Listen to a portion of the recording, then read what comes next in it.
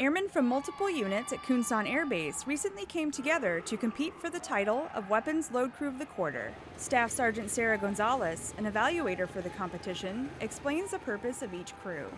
As far as the the crews themselves, you have your one man, your two man, and your three man. So your one man is filling out the checklist, making sure that everybody's adhering to technical order. And you have your two man who preps the aircraft, does everything required, like prepping their launchers, the bomb racks, whatever it is they're loading, getting that station ready to be loaded. And then your three man preps the munitions and make sure that they're serviceable and ready to go, ready to be loaded. What we're looking for is to make sure that they're doing everything 100% by the book.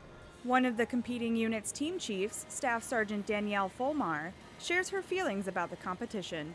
This is my second time competing in a load comp. Uh, my first time I was an airman, probably like fresh out of tech school, so I'm excited to do this. I have a lot more confidence in my abilities and my job knowledge now. And that confidence paid off in the end because the 35th AMU took home the trophy for Load Crew of the Quarter. Senior Airman Ariel Tumlinson, Kunsan Air Base, Korea.